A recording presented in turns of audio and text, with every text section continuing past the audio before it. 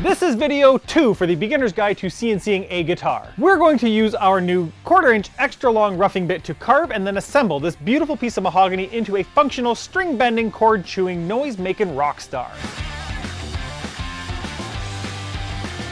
One of the parts I found tricky in the first guitar series was having bits that were long enough to cut all the way through the material we used. I had to come up with some wonky workarounds to make that happen. Well, no more.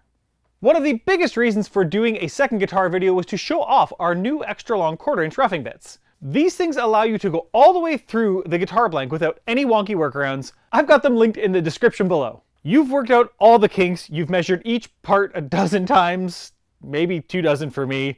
You've got your vectors and your G-code file saved, now it's time to test it all out. Expect mistakes here folks, that's why we do tests. So if one or multiple mistakes happen, take some notes, make some tweaks, and try and try again until you nail it. Load up those G-code files you created in video one, slap that test material down like you slap at the bass. I slapped the bass big time. Slap the bass. Slap the bass. Slap the bass. Start the job and sit back and let the excellence happen. Start with that rigid foam I talked about in the first video. It's cheap and it doesn't beat on your bits, and it'll get you the experience you need with index holes and flipping. This might be a good time to check out the Basics for a Beginner bit change video if you're not very comfortable with bit changes. There's going to be a couple of them in this project, so you may as well get used to them. And while you're there, throw up one of those thumbs up and the dingy bell. Ding! We'd be thrilled if you joined our 10,000 plus other subscribers to stay in the loop. After you've got your files and tests really dialed in and you're feeling confident, then it's time to bust out that fancy piece of bois that you've been waiting to carve up. Take a deep breath Center yourself. There's no $10,000 grand prize for getting it done in two minutes. Trust me, I was apprehensive about hitting the start job on this mahogany as well. Whenever you want. I don't want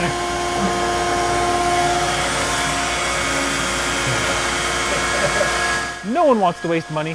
Don't worry, you have done your tests. This is going to be epic. Uh oh, don't break stuff. Oh, look at that. I bled some super glue into the mahogany. Boom! One finished guitar body ready for finishing. now it's time for everyone's most hated thing to do, except me, sanding. I get why people hate sanding. It's a time sucker, it makes a mess, so I avoid the really unnecessary sanding as often as I can. But for me at least, I find sanding cathartic. It allows me to zen in to put the final uh, shape and contour on that piece of wood. The LongMill does the heavy lifting for me, but now I get to give it some soul. I will say that I could have done a bit better job on the allowance offset when I was carving this body.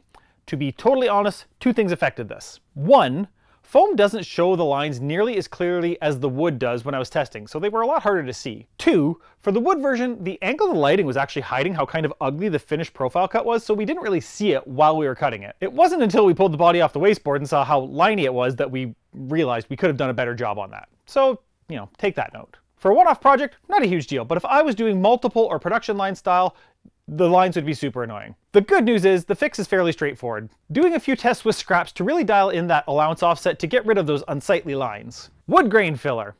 I did not do this on the Tele build, but it doesn't bother me in the least. However, I like comparing things and I wanted to see how much of a difference it would make on this one. If you're not familiar with wood grain filler, it does just what it says it does. It fills in the grain or tiny gaps in the wood. I experimented with glue and sawdust, but I found it was just a bit of a mess to sand off. If you sand too early, it gums up your sandpaper, and if you sand too late, it is really hard to sand off. This filler I got was easier to sand than glue, and it was specifically color matched for mahogany. It did a pretty decent job of filling in all those tiny gaps to make the surface look nice and smooth. Was it worth doing? I would say it's probably way more noticeable if you're doing a glossy clear coat, but because I'm using a natural, almost matte finish, it's not nearly as obvious. Truthfully, I like both finishes, but for the amount of work required and the finish I'm using, using the grain filler wasn't really worth it for me. Now on to stain. I debated if I wanted to leave this thing natural or if I wanted to stain it.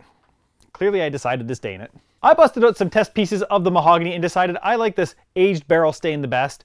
Shocking that I like something vintage looking, it seems to be my MO these days. After sanding, filling, cleaning off the body, I applied the stain with a rag, let it sit for a couple of minutes, and wiped off the excess. The neck that we are using came pre-made, so it came with a like a poly finish on it already. Uh, I took some 220 grit sandpaper, sanded the clear coat off just the front of the headstock, and stained it to match the body. I could have done the entire neck, but that was way more work than it was worth in my opinion for what we were going to see, so I just left it, the, the back of the neck as is. Trusty old Ligna for the finish again. It's so easy to use. Wipe on, wipe off, done. It is one of my favorite finishing products. We're not sponsored by them, I just really enjoy the simplicity of use. I'm typically a big fan of the matte looking finishes, and so far Ligna has yet to disappoint. Because we bought the parts that we needed for this build, assembly is fairly straightforward from here on in. I'll include the instructions that came with the parts that I bought online in the shared files, um, but to be totally honest, I'm not good at following instructions on a good day, and there's not even pictures in there. I would totally fail if I tried to follow these. I need to find the hole locations for the back of the neck through the body with the plate that came with the kit. You to do. I have some measurements on there to tell me where I want it to be. We're looking at something roughly about there. Drill press time. It's important that the holes in the body for the neck allow the screws to pass through without threading in. You want the screw to thread into the neck itself, otherwise when the neck and the body are screwed together, it won't be as tight a fit as possible. Put the neck in place and use the body holes as a guide, and then mark on the back side of the neck with a screw, drill bit, or a punch. So you're gonna measure your neck screws and you're going to pre-drill the holes in the body, then you need to pre-drill the holes in the neck. Like I just said, you want to make sure that you're using a bit that is a little bit smaller this time for the pre-drilled holes in the neck because you want these screws to bite into the neck, not the body. So we're gonna go do that now. A piece of tape on your drill bit is a good visual guide for depth. Next up, the long drill bit for the pickup and ground wires. The long drill bit is going to allow some sh more shallow angle so that you don't have to worry about drilling through the body by accident. Luckily, I haven't done that yet. Drill the holes so you can feed the pickup wires into the control cavity and the ground wire from the harness to wedge beside the tailpiece post we are going to use the control cavity plate that came with the kit to just basically mark out the holes that we need to drill out. So this is yoink, yoink, yoink, and yoink. Easy peasy. I'll screw the plate down after I finish installing all the parts and tested everything out. Tuning keys are pretty straightforward. Plug them in the holes in the pre-made neck, screw them down, and you're pretty much done. That was so much easier than building a neck from scratch, I can't even tell you. The strap buttons are pretty simple find the center for the back one and, you know, put a mark there and screw it in, done. For the top one, you have to decide if you're gonna go like Tony Iommi style and have it on the top of the horn or some other variation. I put mine in the back of the top of the horn because visually and, you know, it just felt like that would be a good spot to put it, so that's where mine is. Time for pickups. Slide the wires through the holes and tuck the pickups in their new comfy home. Uh, you might want to use the pick guard to help line up the pickups, pre-drill, and screw them into place they're done. Grab the wiring harness and your soldering iron for all of the control cavity parts.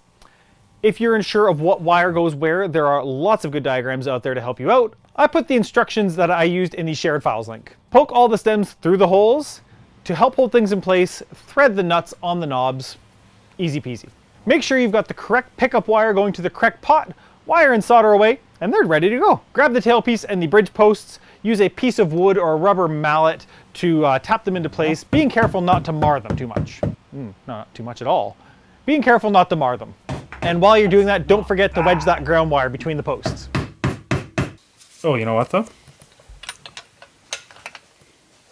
What the funk? We have a major issue right now. Why?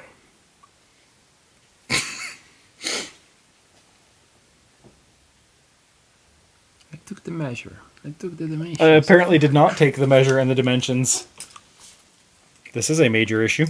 So you can see from this part of the video that Scott made a mistake. I even posted about it online. Uh, I drilled the holes for the tailpiece posts in the wrong spot. There's a lot of moving parts. I made a mistake. It happens. Luckily, I was able to grab some of that scrap mahogany, cut out a couple of plugs, plug the holes, glue them in there, and we were back to where we should have been, and then I just re-drilled those tailpiece post holes, and you can't even honestly tell. I will be totally honest, we did have some electronic problems with the pickups from the kit that we bought. However, Solo was absolutely incredible about walking me through to figure out what the problem was and getting me a replacement pickup literally the next day. So I have nothing but good things to say about that, even though we did have a little, you know, bump in the road. Install those four neck screws. Having the neck clamped to the body can help free up a hand uh, and keep the neck in place while you're screwing them in. And that actually looks freaking awesome. Ta-da! We are ready to put our pick guard on our guitar now. Pre-drilling is not super necessary because these screws are they're pretty tiny little guys. However, one tip that might come in handy for those that have not done this before is when you are, sorry, before you're screwing in your pickups, you may want to use your pick guard as a bit of a guide, just to make sure these are squared up the way they're supposed to be. Otherwise, you may end up having to file your pick guard a little bit, which, let's be honest, It's not a big deal if you have to do a little bit of tweaking, but if you can use it to help you out, why wouldn't you? Install the screws and your pickguard is Dunsky. Add some string to this monster, tune it up, and you are ready for its inaugural test run. Plug it in, turn the volume to a million, and play something that rocks.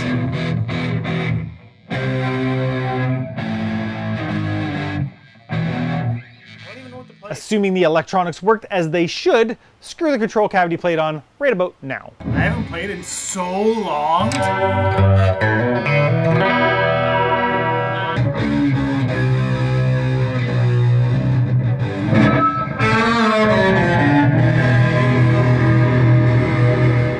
Have it, another guitar finished and ready to destroy eardrums. I will be the first to admit that this guitar was way less stressful than the first one. Is there a lot to know to make your own guitar? Of course there is. You're making a guitar, not a walking stick. However, with a little determination, I promise the result is totally worth it. Does being able to make my own guitar mean that I wouldn't love to own a Gretsch Signature Falcon Billy Duffy edition?